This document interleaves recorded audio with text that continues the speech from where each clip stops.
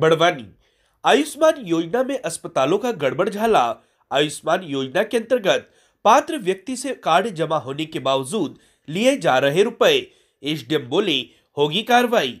बड़वानी शहर के महामृत्युंजय अस्पताल में बड़वानी एसडीएम घनश्याम धनगर जाँच करने पहुँचे। एसडीएम का कहना है कि जन सुनवाई में शिकायत थी कि आयुष्मान योजना में उपचार के बाद भी मरीजों से रुपए लिए जा रहे हैं, जिसके बाद अस्पताल में जाँच की गई तो दो मरीज़ आयुष्मान योजना के अंतर्गत पात्र थे और उनका कार्ड लगा था। पूछताछ की गई और जानकारी ली गई तो पता लगा कि उनसे रुपए भी लिए जाना पाया गया है। इसमें पूरी जाँच कर वरिष्ठ स्तर पर भेजी जाएगी और अस्पताल प्रबंधन पर जो भी उचित होगी कार्रवाई की जाएगी। एसडीएम का कहना है कि शिकायत मिली कि कुछ और अस्पताल भी हैं जो आयुष्मान योजना अंतर्गत इलाज भी कर रहे हैं और एडिशनल फ़ीस भी ले रहे तो ऐसे लोगों की और भी जाँच की जाएगी और कार्रवाई की जाएगी।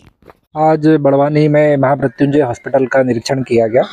जन सुनवाई में शिकायत मिली थी कि मरीज़ लोगों से, जो कि आयुष्मान कार्ड धारी है, उनसे आयुष्मान कार्ड होने के बावजूद इलाज के लिए पैसे लिए जा रहे हैं। इसके संदर्भ में आज जाँच की गई।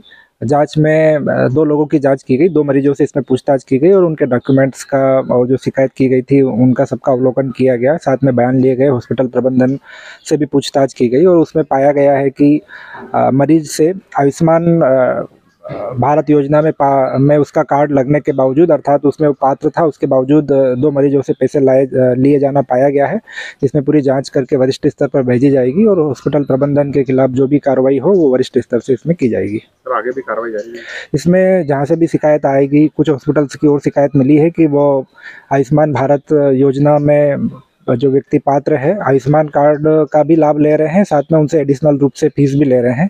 तो ऐसे लोगों की और भी जाँच की जाएगी और दोषियों पर कार्रवाई की जाएगी।